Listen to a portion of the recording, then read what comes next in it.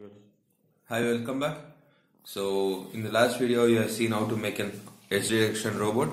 So, using the same kit, I'll show you how to make an obstacle avoiding robot. So, for the obstacle avoiding robot, what you have to do is remove the IR sensor, remove the 11 volt strip, remove the battery, remove all the connections given to this thing, and remain the chassis, wheels, motor driving module, and a motor as it is. So let's take a look at how it looks after removing all the things. So this is how your chassis, mo- motor driving module, two motors, wheels and a caster wheel should look. So this is the main base frame for all the three robots. So this frame suits for all the three robots. If you have the base of this, you can make all the three robots work possible and easy. So now let's take a look at the circuit diagram of obstacle avoiding robot. So this is the obstacle avoiding robot circuit. So there is so there is one add-on feature for this obstacle avoiding kit. So that thing is breadboard. So the breadboard is this one. The breadboard with the 7404 IC connected to it. So what we have to do is we need to take this breadboard, we need to peel off the back, the sticker and it should look something like this. And then we need to stick it on the board like this. So place the breadboard like this nearer to the motor driving module.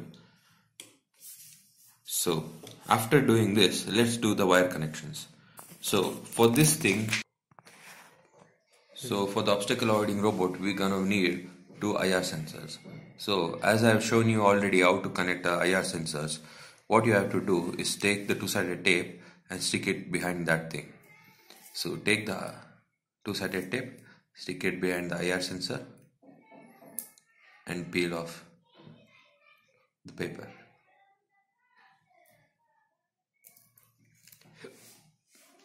So for the obstacle avoiding robot, how we need to place the IR sensor is you see the two holes over here and two holes over here, right? So for that you need to place the IR sensor like this. Make sure the IR sensor is straight. So place the IR sensors like this properly. So after this, let's see what are the connections to be made. As you can see in the circuit diagram, the left motor and the right motor should be connected to the motor driving module. It's already done, so it remains intact. So the battery connection adapter is also given. So what we need to do is the connections between these four things, the connections between IR sensor and the module, the connections between the IC which is connected to the breadboard and to the module. So let's see how do we connect the wires. So for this we're gonna need male to female connections. We, we are using male to female connections because we are using breadboard over here. So the breadboard, the connections over here in the breadboard is that the pin over here, the this notch represents this notch should be always be on the left side of the board. So so that we can count it properly. So the pin which is below the notch is the pin number 1 the pin number 1 is the first pin. This is called pin number 2 this is called pin number 3 pin number 4 5 6 7 pin number 8 pin number 9 10 11 12 13 14 so this is a 14 pin IC where the the series over here are all connected to the one pin. So if you connect a wire over here and a wire over here both acts as the same connection as much as it is connected to this pin.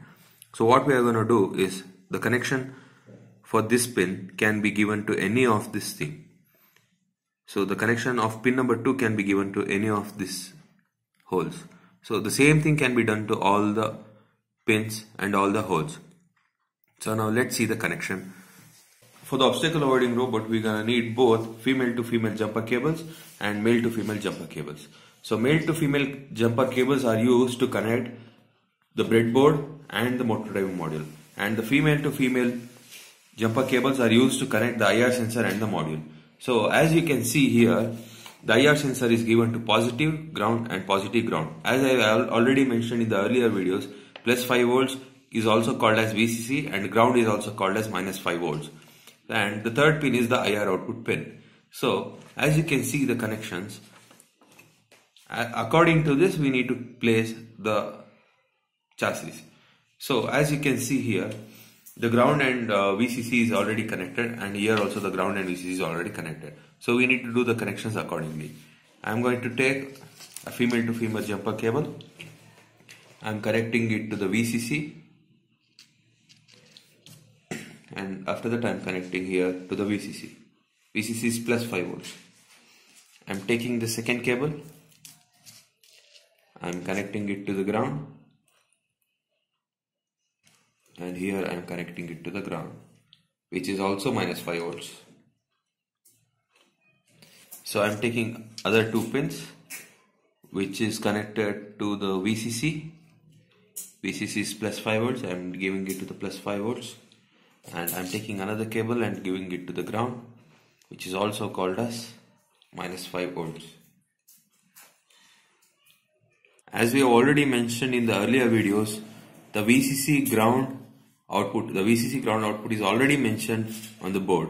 You just have to take a look at it and then do the connections.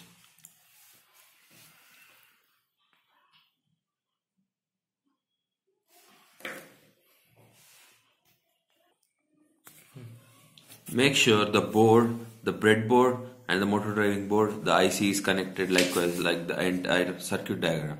So as you can see, the circuit diagram looks like the board and the chassis connected to it. As you can see, the motor driving module is over here and the breadboard which is connected to the IC pin number is over here. So you just have to do the connections likewise. So now what you have to do is you need to see the notch over here. You can see the notch over here, right? The same notch is also over here. So the connection should be proper. Now what we have to do is first we need to do the ground and the plus 5 volts connection properly. So the pin number 7 is ground. As you can see, as I already mentioned, the pin number which is below the notch is pin number 1. So from the pin number 7 is over here. So we need to connect pin number 7 to ground. What so that what we have to do is we need to take a male to female jumper cable and connect it to pin number 7. So as I already mentioned, the entire row is full of pin number 7. So you can keep, place it to any one pin and take that wire and connect it to ground. So ground is minus 5 volts. Already I have mentioned it in the previous videos. And now the second connection is plus 5 volts. So for the, for the plus 5 volts, it's below this notch. So it's below this notch. So it's pin number 14. So pin number 14 is plus 5 volts. Just need to take the pin number 14 and give it plus 5 volts. Okay. So the connections of these two is done. So what we have to do is we have to take the connection from the IR sensor 1 and IR sensor 2. The output from the IR sensor 1 is given to pin number 3. As you can see, as I already mentioned, the pin below this thing or above this thing is pin number 1, pin number 2, pin number 3, pin number 4, pin number 5, 6 and 7. It's already mentioned. So the IR sensor is given to pin number 3 and as well as pin number 1 from the motor driving module. So for this what we have to do is we have to take a female to male jumper cable, connect it to the IR sensor and give it to the pin number 3. And I also mentioned earlier that the entire row of pin number 3 is free so that we can take another male to female jumper cable and connect it from here to pin number 1 of the motor driving module. So I'll show you how it's done properly. So take a female to male jumper cable. This as we already know this is IR sensor 1 and this is IR sensor 2. So what we have to do is take the male to female bug, uh, uh, jumper cable and connect to the pin number 1 and give it to the pin number 3 of the IC.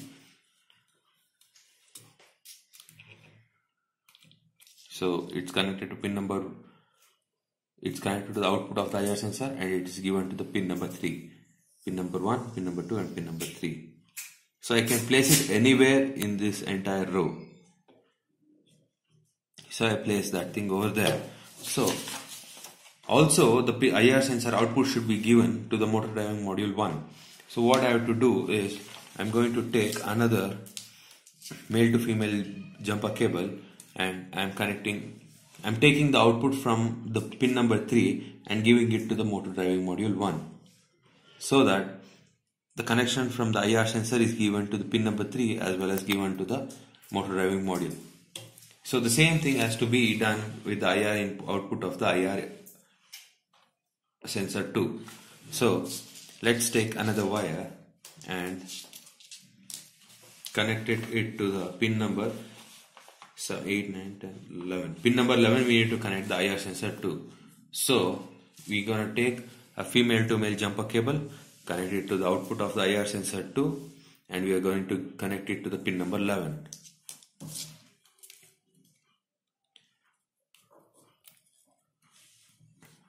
so we're going to take the pin we're going to connect it to the pin number 11 so as we already said pin number 7, 8, 9, 10 and 11 is over here.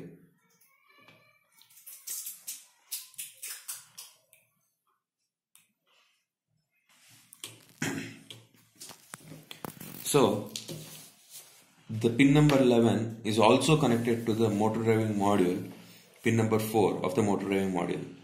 So for the pin number 4 of the motor driving module what I am doing is I am taking the output from the pin number 11 and giving it to the pin number 4 of the motor driving module. So I'm taking another male to female pin. I'm taking the output from 11 and giving it to the pin number 4 of the motor driving module.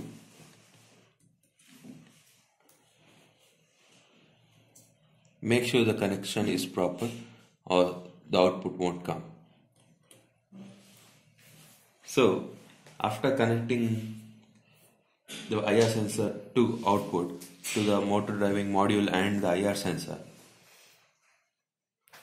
sorry and the board what we have to do is the remaining two connections should be done.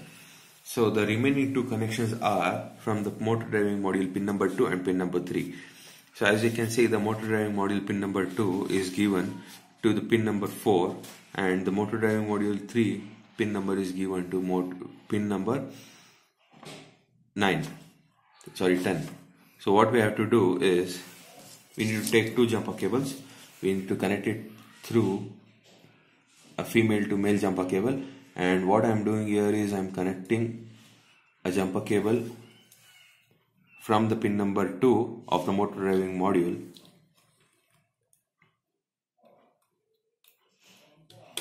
I'm connecting to the motor driving module pin number 2 I'm taking the output from the motor driving module 2 here from the motor driving module 2 and I'm connecting it to the pin number 4 so all, all, oh, as I already mentioned pin number 1 2 3 and 4 the pin number 4 is here and I'm going to connect it to the pin number 4 so 90% of our connection is done. So now what we have to do is we need to take another female to male jumper cable and connect it from pin number 3 to pin number 10 as shown in the circuit diagram. So pin number 3 to pin number 10 of the IC. So I'm taking another jumper cable. I'm connecting it to pin number 3 of the motor driving module.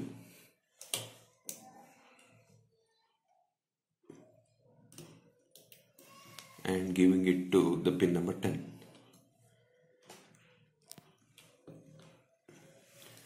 So the connections of our the obstacle avoiding robot is done. So now what we have to do is cross check the motor connections and all the connections. So if you know everything is fine, now what we have to do is take the battery and then we need to check for the motor connection is proper or not. So if the motor runs forward, it's perfectly alright. So if the motor runs backward, as I said in, in already in other videos, you need to interchange the connections between the motor cables. So let's see how the motor one runs. As you can see, the motor is running backwards. So as I said you earlier, what you have to do is interchange the cables. so now I'll be interchanging the cables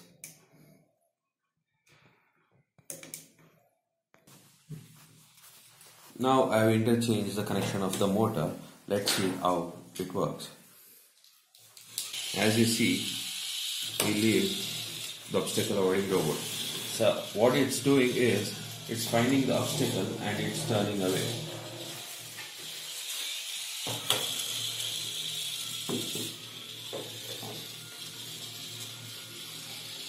So this is the function of an obstacle avoiding. Robot. Thank you. Please subscribe to our channel. And for more videos, subscribe our channel and give a like. If you have any doubts, please leave it in the comment section below. Thank you.